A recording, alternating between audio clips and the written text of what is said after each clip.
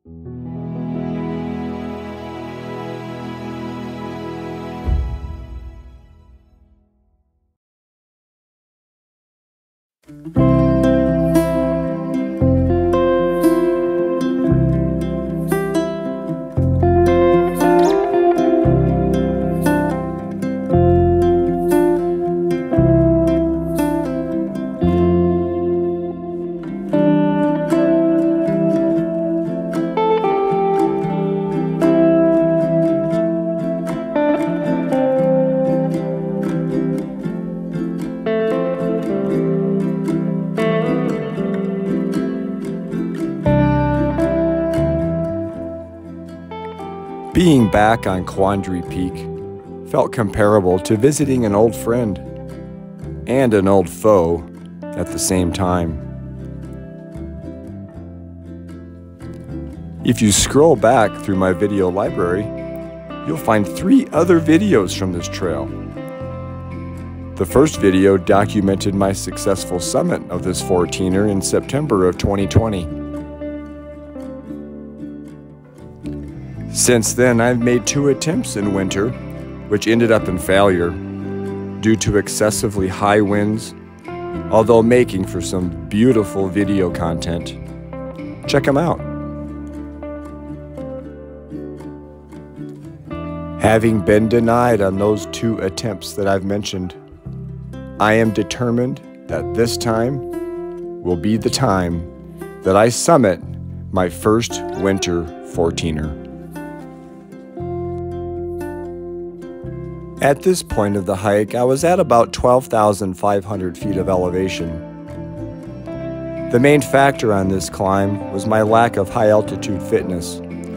This is my first hike into any significant altitude in six months, so I wasn't totally confident of how my body would do once I got to high altitude.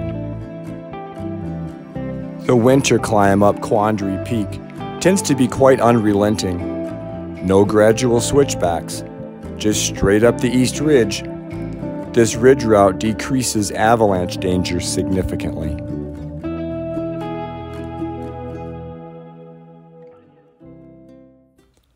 Here at 13,000 feet, the views get spectacular. To the south, you can see North Star Mountain and Mount Lincoln. And as we look over to the northeast, you can see Grays and Torreys, two prominent 14ers.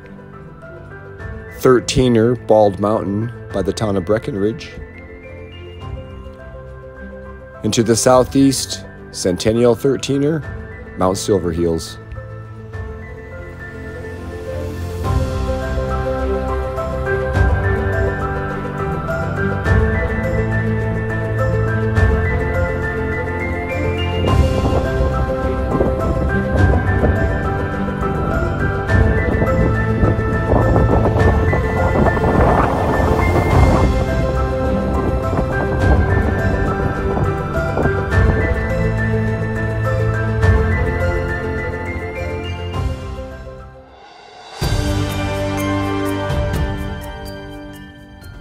Here at around 13,200 feet, the trail temporarily flattens out.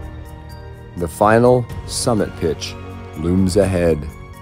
1,000 feet of elevation gain to climb and about a half a mile.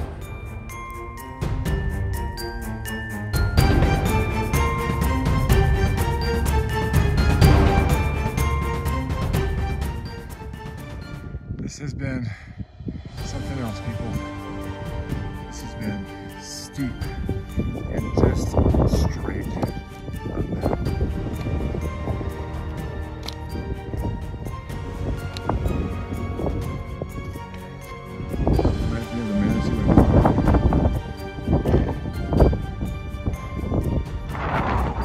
There it is, there's something. We're close, people. 150 feet to go. I'm not even gonna bother showing you the view from here. We'll see it much better up there. But there it is. Let's do this.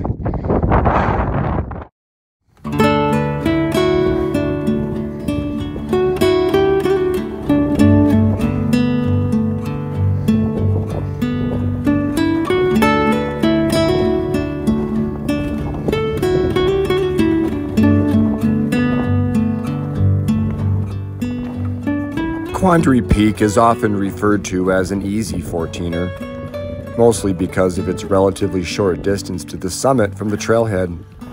But don't you believe it? Especially in winter, this is anything but easy. But the reward of accomplishment is coming closer. The summit is in view, victory is within reach.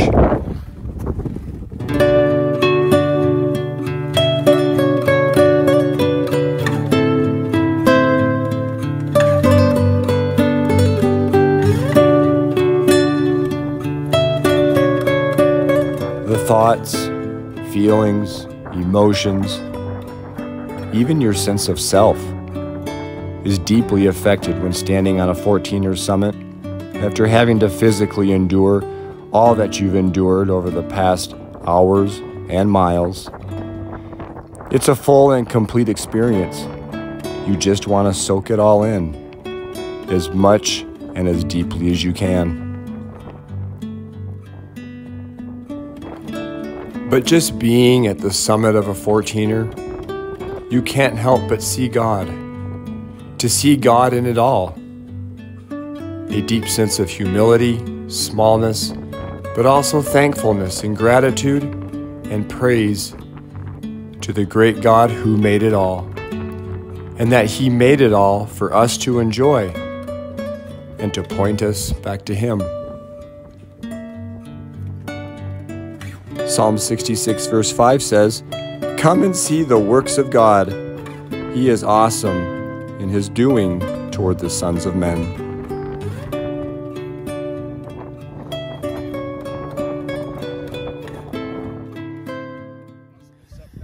Looks like we got some snow blowing in, so I'm gonna start heading down. Could make it pretty interesting going down. Could be fun. So leaving Summit,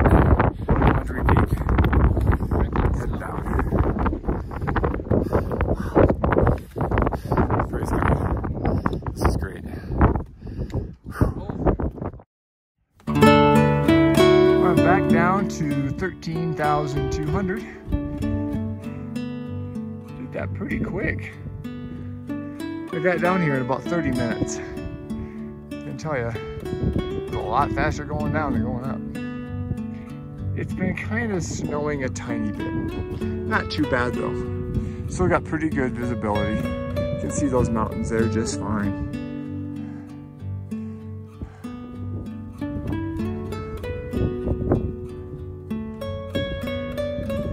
Onward and downward.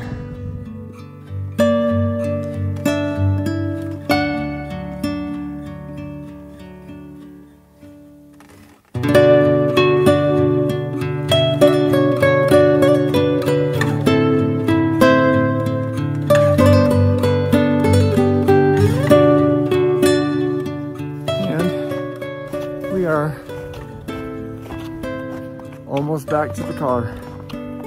And I have found a really cool way to bungee cord my snowshoes to my backpack.